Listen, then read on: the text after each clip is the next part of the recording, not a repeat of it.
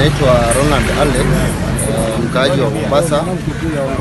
Actually mimi pande yangu ilikuwa ni pande ya Azimio, but uh, we all have to accept.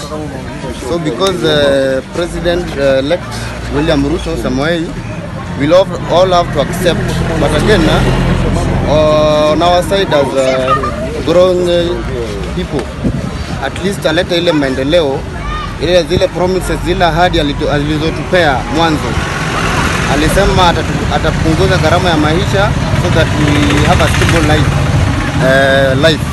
Ukiona kama hii haiendelee vizuri it will encourage ile wizi, it encourage zile bribery nini. We don't want that. Tuishi na amani, sisi ni Wakenya sisi sote. At least akileta ile maendeleo, sisi kwetu kama vijana hizi mambo na uaji, mambo na kuibia wengine haitakuwa.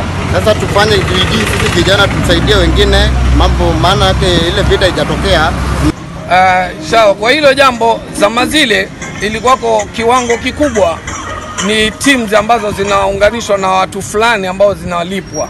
Twashukuru wale watu ambao benefit wa vijana ambao wanafanya wako kidogo, si kama zama hizo.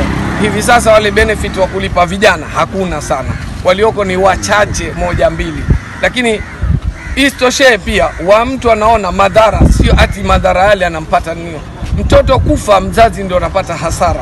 Hilo kubwa, watu watakiwa wafikirie tena, wazingatie, si kwetu tu Mombasa, kila sehemu. Mtoto mtu kupigwa risasi, mzazi ndio anapata hasara. Yule aliomlipa yule mtu yeye ametulia kwake nyumbani, wake uko salama. Kwa nini akianza haanzi na wake kumtoa nje atumane kwenye fujo?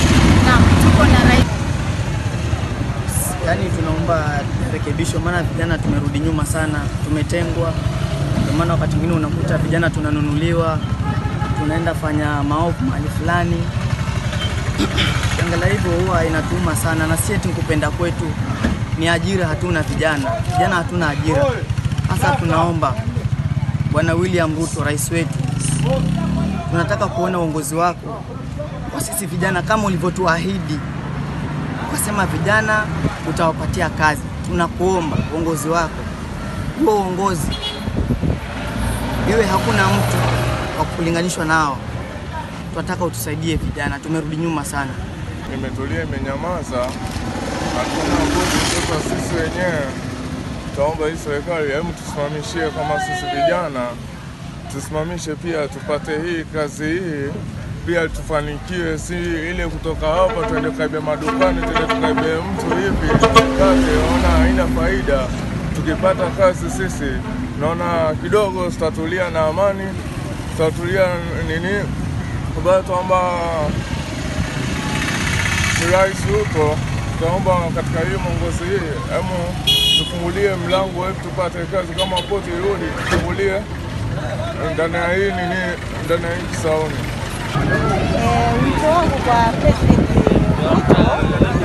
haya maisha ambayo tuko nayo hii ni magumu. Tunaomba ashukishe vitu chini, at least maisha yarudi venye yalikuwa. kama wajibu wa kazi wa serikali, ikasaidia pakubwa kutupa nguvu sisi wa mitaa community tuliokuwa na wenzetu, jinsi ya kuweka amani kwa mtaa. Tuliona imekuwa afadhali kubwa sana, kwa kulingana afadhali yenyewe ni ya kuwa tuna usalama wa barabarani ya magari, tuna usalama sisi mtaani, alafu na vijana sio kama zama zile ilipokuwa wanalipwa shilingi wanaharibikiwa.